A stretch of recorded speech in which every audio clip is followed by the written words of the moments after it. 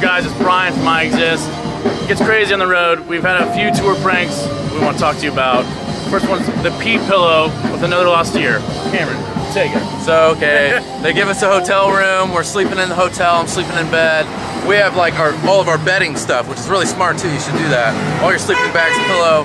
My pillow was on the ground. I woke up in the morning. There's a big puddle by my pillow. Wasn't water. All over the floor. Wasn't water. Definitely not water.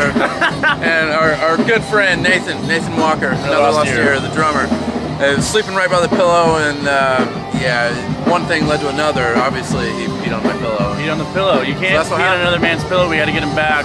Last day of the show, I pissed on a pillow and then smacked him in the face when he was on set. It was awesome. Last show of the tour. Last show of the tour. We were on the stage. Last song, something like that. Beat the crap out of him with this pillow. It's fine. Pee pillow action. It's, it's part of it. We do another now one. we're we- best friends. Now we're BFFs. We pee all the time. Um, another tour prank. I mean, it's more like a camaraderie thing. You know, if you're gonna go on tour with a band, you want to go out with a big bang. We're without our homies Dead Horse Trauma, DHT.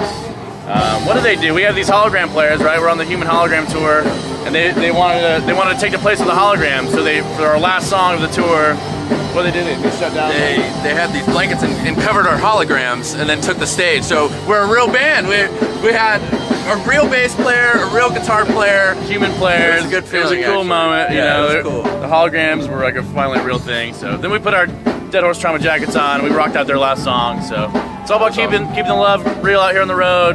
Tour tour pranks. We're gonna get more coming for you. So keep an eye out.